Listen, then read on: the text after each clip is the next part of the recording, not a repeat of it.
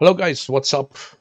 Smotus here and now let's take a look over the Mother Russia in terms of customization of a special operator because we're gonna do the Spetsnaz Operator.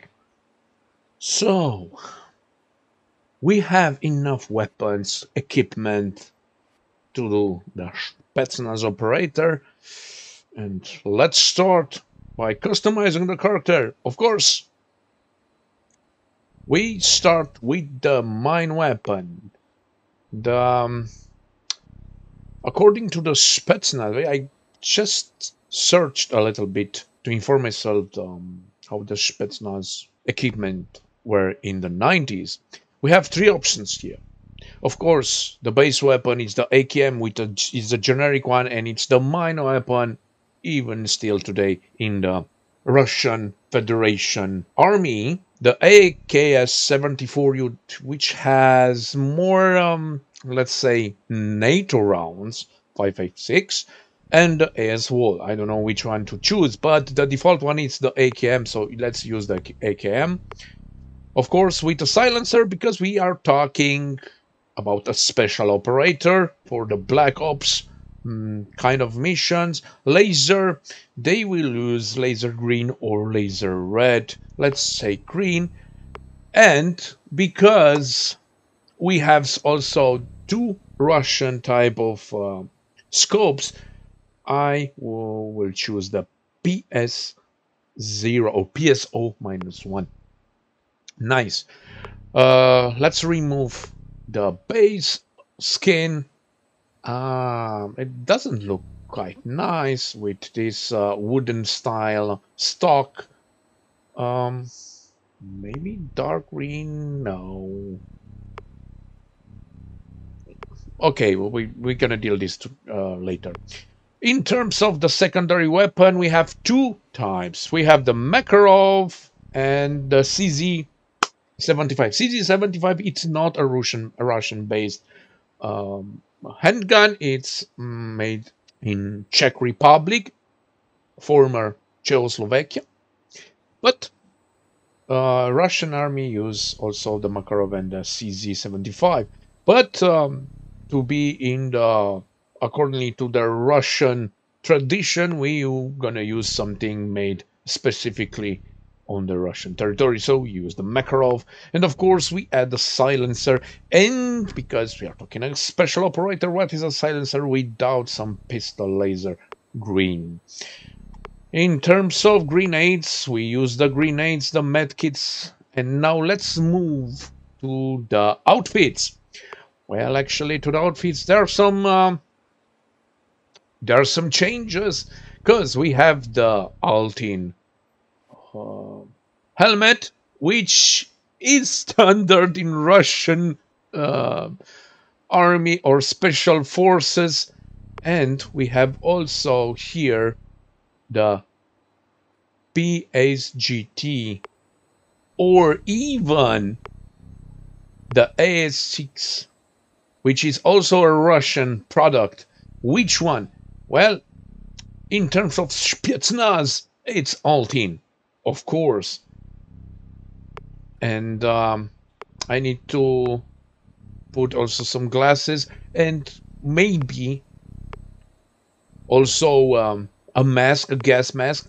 I don't know for what or use the gas mask because I didn't um, played a mission that uh, the gas mask it's necessary. It's also just in terms of hide the face or is just for fancy design, fancy look?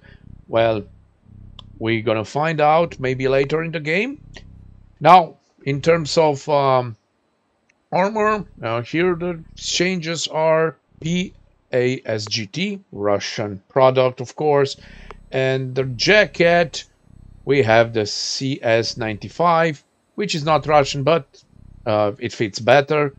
Okay, and here we on the vest let's see. The PLSA or the LBV hmm, let's say LBV and uh, in in the back we have the RD 40 uh, RD 54 also we have the Alice backpack that is very quiet very uh, close to the Russian uh, infantry backpacks. So we can use also this one. Well this is in terms of outfits. Of course now we need to apply some camos.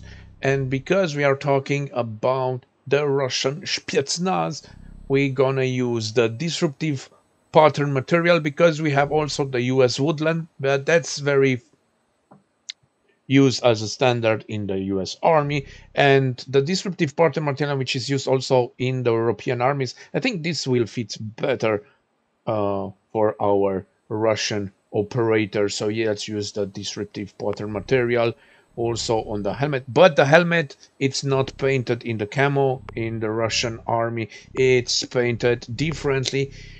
We have the murky green olive or maybe dark green let's say olive green okay now in terms of the jacket the jacket will be also with camo and what will be not with camo, it's the LBV. LBV West has no camo. Camo, it's with, let's say, dark green details, dark green, and also the PASGT Vest has no uh, camo applied.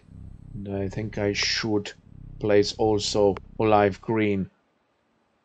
I think olive green, yes and maybe also the CS jacket should have the dark green. I think. I don't know. Maybe. Now, next, we have, let's discuss about the weapons. I forgot something. Yes, I forgot. Oh, we cannot have a Spetsnaz operator without some flags. Russian flags, of course. Uh, CST 95 jacket. Let's put, apply the Russia flag. And now we have an uh, Spetsnaz operator. Now let's let's talk about a little bit the firearms. Well, uh, you know that Russia has one of the best and one of the best quality firearms industry around the world. So we have two three options here we have also the pp19 which is also another called the uh, the um, Bizon which is uh, also a russian made uh, submachine gun but in terms of akm aksu or AS Val everyone every of these three weapons fits perfect in the on the Spetsnaz operator. So I choose all the AKM because it's a more generic weapon and very used widely in the um, Russian Federation army. Now, uh, is there something is the face will be? Yeah, well, I think this is the Russian face, standard face with blue eyes and very white Caucasian. And um, the voice will be, should be some... Tango. Uh, I don't know which voice is better for this operator, but I like it. I like the Spetsnaz operator, how it looks. And um, yes, why not? Why not use it in the battle? Look at him. He's prepared for the tough fighting and he's coming from the east. Thank you very much for watching. And now, of course, let's save this one. Let's Spitz. Nos. Save preset. And let's close. This is the end of the video. Oh, of course, don't forget to subscribe and we'll see next time in another video, of course. Smotus bye-bye and Las Vidania.